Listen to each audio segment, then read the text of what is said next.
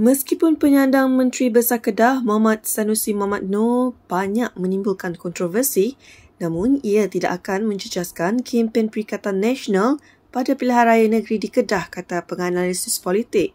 Mereka berkata jika ada kesan sekalipun, ia terlalu kecil dan hanya kepada golongan pengundi atas pagar sahaja.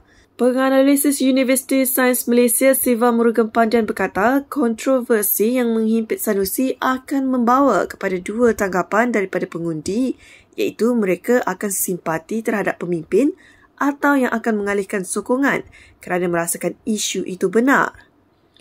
Dalam part itu, beliau berkata sukar untuk menjangkakan momentum kempen PN di negeri itu ketika ini kerana sokongan kepada Sanusi dan PAT itu mungkin tidak akan terjejas kepada pengundi tegar mereka.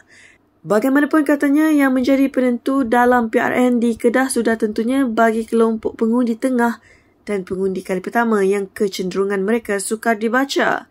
Bulan lalu, Sanusi didakwa atas dua pertuduhan membuat kenyataan hasutan terhadap institusi diraja susulan ucapannya ketika berceramah di Kombak.